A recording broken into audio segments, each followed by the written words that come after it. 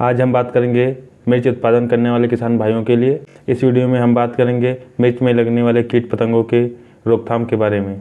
अगर देखा जाए तो मिर्च एक ऐसा पदार्थ है जो सब्ज़ी, जड़ी बूटी, औषध और मसालों के रूप में हम सब इसको प्रयोग में लाते हैं। लिए अब हम बात करते हैं मिर्च के पौधे में कौन कौन से कीट पतंगों का प्रकोप होता है।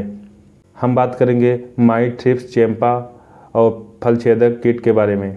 सबसे पहले बात करेंगे माइट के बारे में। माइट कीट का मेज पर प्रभाव सबसे अधिक होता है। इसके शिष्य एवं वयस्क अपनी थूक से पत्तियों पर जाल बनाकर उनके हरे भाग को खाते रहते हैं। अगर देखा जाए, इन जालों में हज़ारों की संख्या में माइट उपलब्ध रहते हैं। इनके प्रभाव से हमारी पत्ती टेढ़ी मेढ़ी हो जाती हैं और फिर सूख जाती हैं। थ्रिप्स थ्रिप्स का प्रभाव ऐसे खेतों में अधिक होता है, जहाँ पर खेत सूखे हुए होते हैं।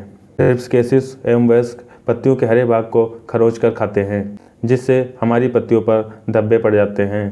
इसके साथ साथ यह फूल एवं कोमल तनों का रस भी चूसते हैं, जिसके कारण पत्तियाँ एवं नई कलिकाएँ और फूल सुकड़ जाते हैं।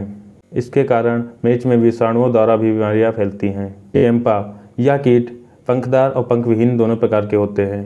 पंखदार चैंपों में धारियाँ पाई जाती हैं, या पत्तियों और पत्तियों के कोमल तनों में हज़ारों की संख्या में पाए जाते हैं और रस चूसकर हमारे पौधे को कमज़ोर कर देते हैं।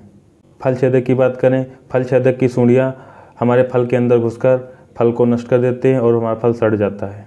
अब हम बात करेंगे इन सभी कीटों की रोकथाम के बारे में। इंडो स्कार्ब, एस्मामीप्रिड, एक एम प्रति लीटर पानी के हिसाब से छिड़काव करना है। इमोमैक्टिन बेंजोएट, दो ग्राम प्रति दस लीटर पानी के हिसाब से छिड़काव करना है। आवश्यकता होने पर प्रोपेमाइड, दो एम प्रति लीटर के हिसाब से छिड़काव कर सकते हैं। इसके साथ साथ कार्बोसल्फान पैंतीस सी दो एम प्रति लीटर के हिसाब से छिड़काव कर सकते हैं। इस प्रकार से आप अपनी फ़सल को सुरक्षित रख सकते हैं और कीट पतंगों से दूर रख सकते हैं।